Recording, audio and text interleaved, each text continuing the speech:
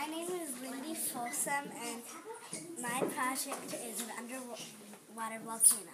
I wanted to know why water, always, hot water always rises to, rises to the top of cold water. My hypothesis was that because it it goes to the top because it is less dense, the warm water.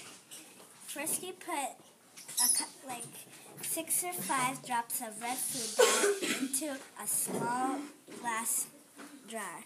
Then you fill it with hot water and tie a string around the neck of it.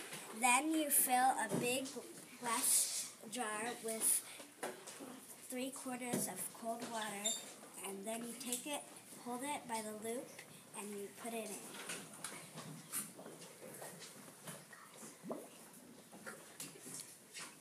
My hypothesis was correct because when the molecules are in hot water, they are moving around very fast, and that makes more space between them, which makes them lighter. When the molecules are in cold water, they are tight together, which makes them heavier. The word for my experiment is called convection. Looks great. I like your underwater volcano. What do you guys think? Good?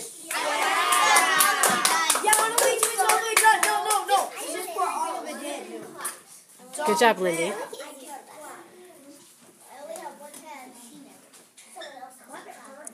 Thank you, Lindy. Good job.